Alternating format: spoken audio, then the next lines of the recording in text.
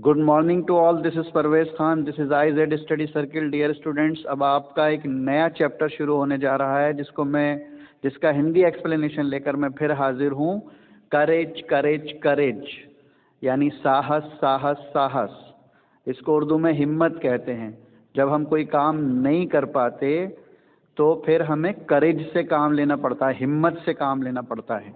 तो उसी का एक्सप्लेनेशन है इस चैप्टर के अंदर। Hope you are ready to listen this. When the burden grows heavy and rough is the way. तो डियर स्टूडेंट्स इसका एक्सप्लेनेशन क्या है कि जब तुम्हारे ऊपर बहुत ज़्यादा बर्डन हो जाए लोड हो जाए, बहुत हैवी फील करने लगो and rough is the way और रास्ता बड़ा दुश्वार हो, कठिन हो, तुम when you falter and slip and it is not your day और क्या हो, जब तुम फॉल्टर यानी कि लूज स्ट्रेंथ हिम्मत हार जाओ और लड़खड़ाने लगो किसी काम को करने में एंड और ये समझो कि आज तुम्हारा दिन नहीं है। जैसे ऐसा समझते ना डियर स्टूडेंट्स अगर कामयाबी सक्सेसफुल इंसान होता रहता है तो कहते हैं कि, बेटा, आज तेरा दिन है।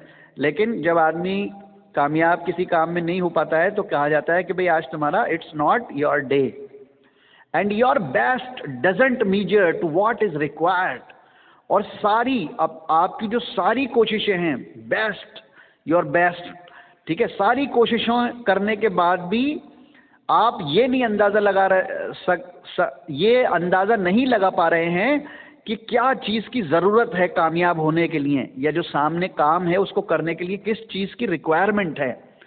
When you know in your heart that you are fast growing tired और तुम्हें पता है कि अब दिल से आवाज़ आने लगी, तुम बहुत तेज़ी से थके जा रहे हो, सामने वाले काम को, सामने वाली परेशानी को फेस नहीं कर पा रहे हो। With the odds all against you और सारी जो चीज़ें हैं, वो सब तुम्हारे खिलाफ होती चली जा रही हैं।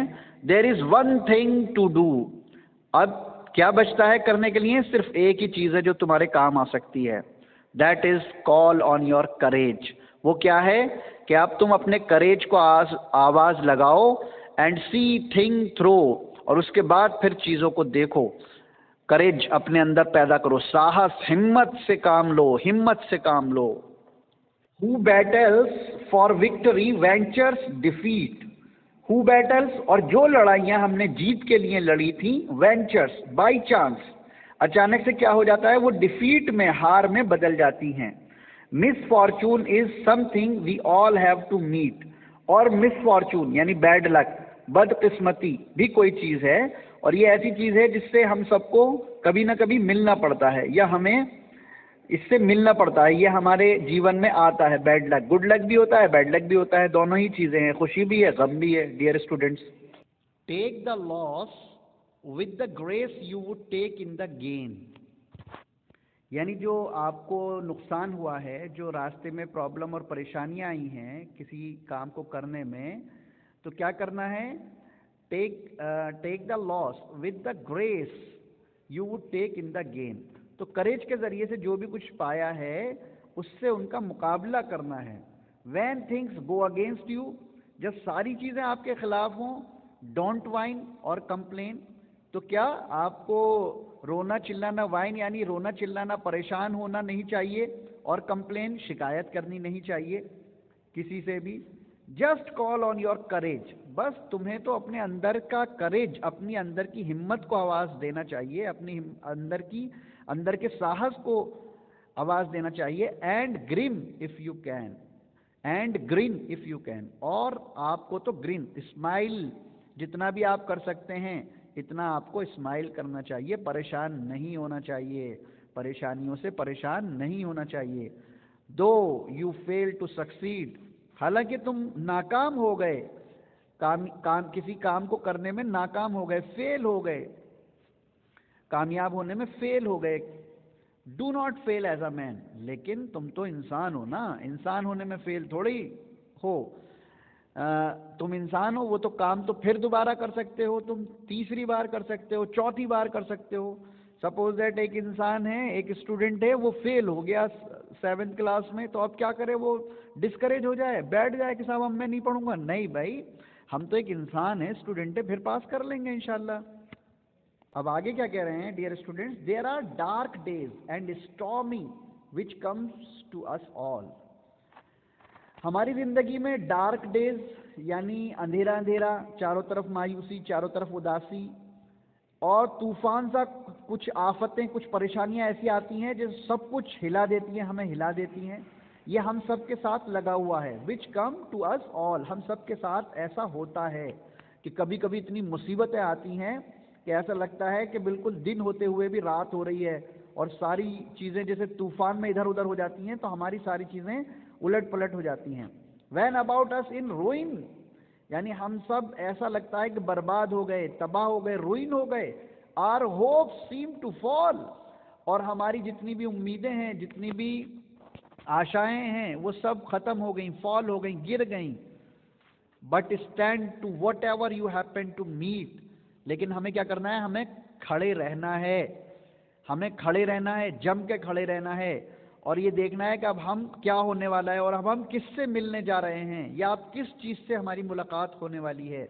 We must all drink the bitter as well as the sweet और ये सारी परेशानियाँ, ये सारी कड़वाहट को हमें पी जाना है, जिस तरह से हम मीठी चीज़ों को पी जाते हैं। यहाँ इस लाइन का मतलब यह है, जिस तरह से हम खुशियाँ, खुशियों को यानी कि ड्रिंक कर लेते हैं, अच्छाइयों को ड्रिंक कर लेते हैं। ड्रिंक से मतलब है खुशियों को इंजॉय करते हैं। इसी तरह से हमें परेशानियों से भी नहीं घबराना चाहिए। इसको कड़वी दवा समझ के, कड़वा ड्रिंक समझ के पी लेना चाहिए।